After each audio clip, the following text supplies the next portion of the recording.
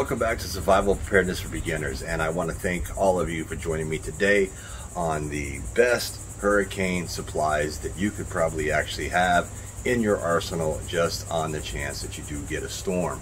Now, always remember that even if you do not live in a hurricane prone area or anything, a lot of these supplies are all good for your preps to make sure that you're ready for any type of natural disaster you may be dealing with within your area. As you can see, it's a beautiful day today here in Florida. It's nice, warm, hot, sunny, and some blue skies, clouds rolling in.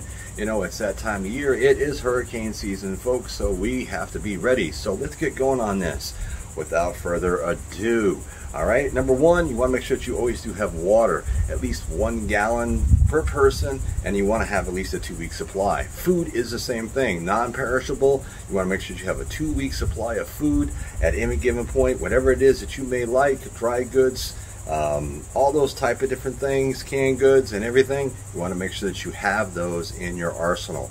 Number three is flashlights. Make sure that you have any type of flashlight that you like to use. Either it's a headlamp, a regular flashlight, whatever it may be, the ones that strap to your wrist, whatever it is, make sure that you have flashlights. So this way here you can see when the power goes out in the middle of the night. All right, manual can opener is number four. You gotta have a manual can opener. This way you can open up your canned goods. Number five, emergency radio. Self-explanatory, you need to get the information. Number six, solar banks or a gas generator. Now, with that being said, Number seven is solar panels or extra gas for your gas generator. This way here you have some way to charge your battery banks. You can do it with the lovely sun, just like this. You set them out right outside. If you do live where you get hurricanes, more than likely you're gonna have plenty of sunshine.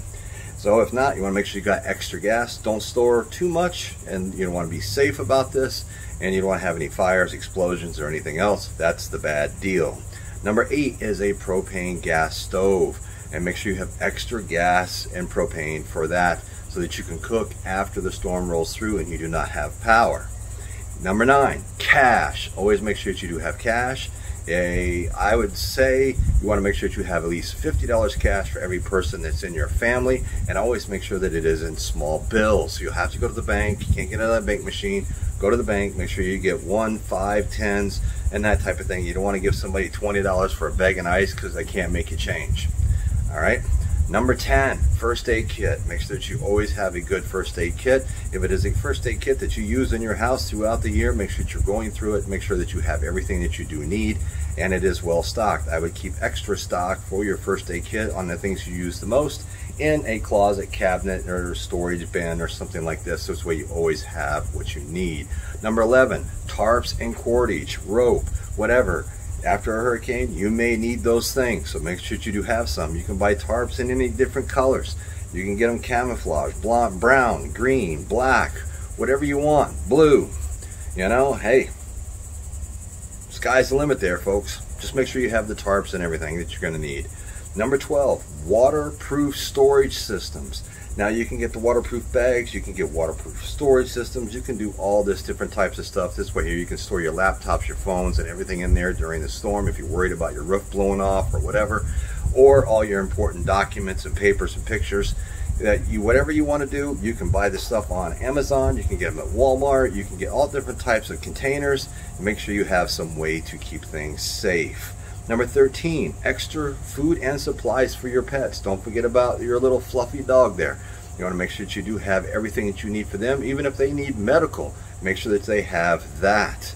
Number 14, extra batteries for all the different types of things that you may have because not everything is rechargeable. So make sure that you go through, make a list, and make sure that you get what you need as far as batteries. Don't buy batteries you're not going to use. Make sure you're buying plenty of batteries that you will. Number 15, your go bag. Make sure that your go bag is ready to go. That's why it's called a go bag, folks. And this way here, in an emergency, if you had to leave on a moment's notice, you grab that bag, everything you need is inside of it. Number 16, tools. Make sure that you do have some tools and stuff. Battery operated tools are the best in a hurricane type prone situation. Or, you know, you can always fall back to the good old hammer and nails. You never know, you may need to board up a window, you may need to fix something or whatever else. So make sure that you have tools at your disposal, pliers, screwdrivers, all that type of stuff. Number 17, dry clothes. Make sure that you have dry clothes in case that you do get soaked or whatever else you need dry clothes to put on. Your life will be a lot more comfortable. Yes, I know usually with a hurricane it's warm and everything else, but if you're all wet and everything, it's not going to be fun. Dry clothes. Number 18, fire extinguisher. Make sure that you do have a fire extinguisher. It is handy and you know how to use it. You know how to open it up. You need to know how to spray it, how far away you need to be. Number 19, gloves. Make sure you have a really, really good pair of gloves. I'd have a couple extra pair if it was me, but make sure that you do have gloves on hand. This way here, if something happens, you got to be picking up debris, glass, or anything like that, you got yourself covered. And number 20, folks, is the evacuation route for your local area. And make sure that you don't have just a plan A route where it's a regular evacuation route because a lot of people are going to be following that. Make sure you have a route B and possibly even a route C. This way here you can get out of harm's way. Try to get away from some of the traffic, take some of the back roads and get to your destination to a safe place in a time of need. So I'm Survival Preparedness for Beginners. This has been the 20 best survival gear and tips. And this way here, it keeps you all safe keeps you all alive. And until next time, thrive to survive, folks. Get outside, get all your gear, and get everything ready. Make sure that you got your list going. Check it off as you complete it, and then you're ready to weather the storm. Till then, catch you all on the flip side.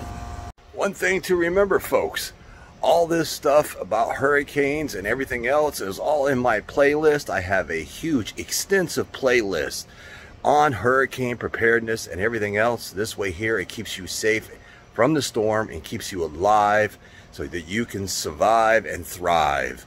All right, folks, so go in and check out that playlist. It'll answer a lot of questions. And if not, shoot me an email at survivalpreparedness69 at gmail.com or comment on the video and I'll do my best to get back to you.